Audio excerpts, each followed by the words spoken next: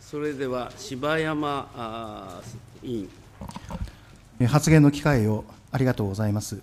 えー、と先ほど来、あの先端技術の進展とグローバル化ということについて、あの玉木委員からもお話がございましたけれども、あのまあ、このことについては、え、国民投票法のみならず、憲法本体の、え、議論についても非常に大きく私は影響を持ってくるというように考えております。あの先ほど政党の、政党の草案は離れてというお話がありましたけれども、すでに複数の政党から、え教育の無償化、あるいは機会均等について、え複数の、え草案が提案をされています。また、先日行われた団長報告においては、森団長から、えエストニアが独立時から e エストニアを国是として IT 国家の建設を推進してきたというお話ですとか、新藤幹事からも、まあ、e エストニアの推進と到達度については、目を見開かされるものがあったというような発言がございました。確かにエストニアではあの電子政府化と合わせて国家としてデジタル教育を徹底的に推進しておりまして、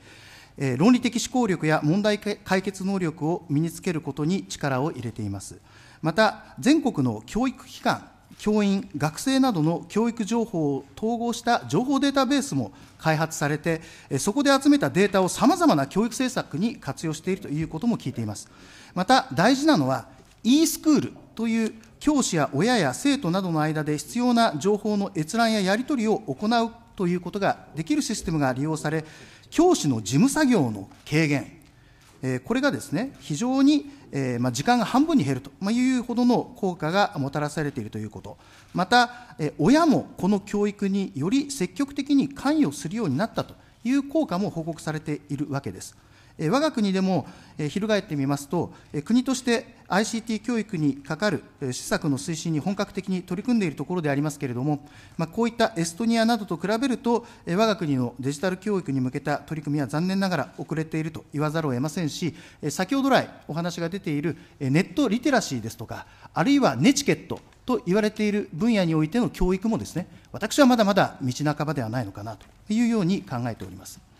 えそのそういう中で、え憲法を見ると、え教育を受ける権利はご存知のとおり、え憲法25条の生存権の次に位置しておりまして、え義務教育の、え無償性は定められておりますけれども、正面から、え機会均等の明文があるというわけではございません。また、先ほど、あの斉藤幹事も、えー、紹介をしてくださいましたけれども、その重要性とか理念についても定められておりません。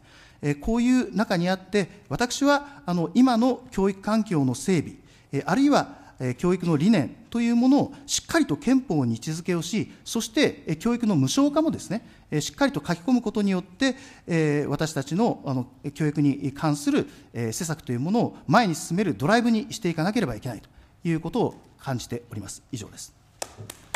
ありがとうございました。あ次に中川